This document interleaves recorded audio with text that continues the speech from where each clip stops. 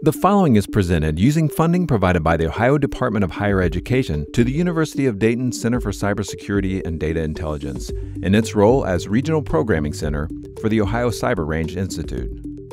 The University of Dayton is a top tier Catholic university dedicated to advancing knowledge, educating future leaders, and serving the common good.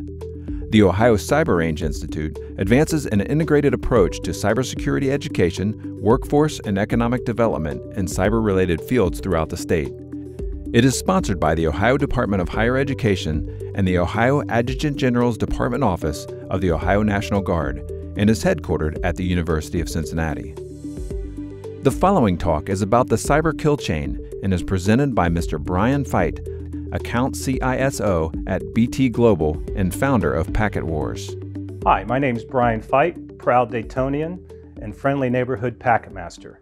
I'd like to talk to you today about the cyber kill chain, or essentially an anatomy of a cyber attack. The first phase of any cyber attack begins with reconnaissance, and that's where the attacker adversary can actually use public search engines like Google uh, to collect information about a potential target without ever touching the organization's network. Once they have that information, they can run nmap commands, and that will enumerate the external attack perimeter, and then using nmap command, go in and do a deep dive to find out any open ports.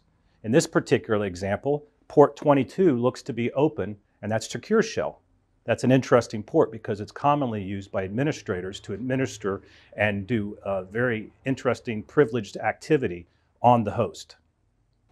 The next phase of the cyber kill chain is the weaponization phase. And this is where your adversary will go collect more detailed information about your company organization.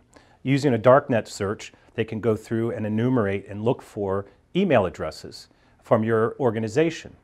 Once they collect those email addresses, they then can rent time on a botnet and feed those credentials into the botnet, preparing for their next phase.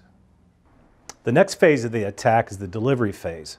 This is where the adversary will take the credentials harvested from the dark web, feed them to the botnet, and then start to try to brute force its way into the open secure shell service.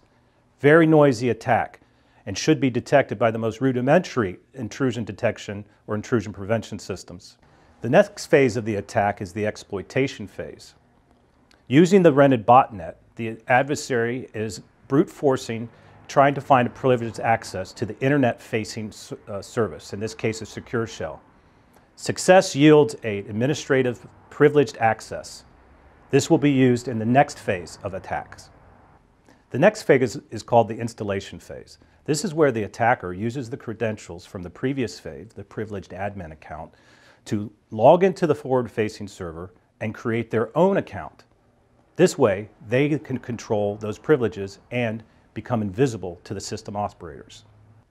The next phase of attack is called the command and control phase. This is where the adversary takes their newly created privileged account and makes it look like a normal user account. This will obfuscate their activity, make them blend in, make them harder to catch, and then they can progress their mission. The final stage of the kill chain is the action and objective stage.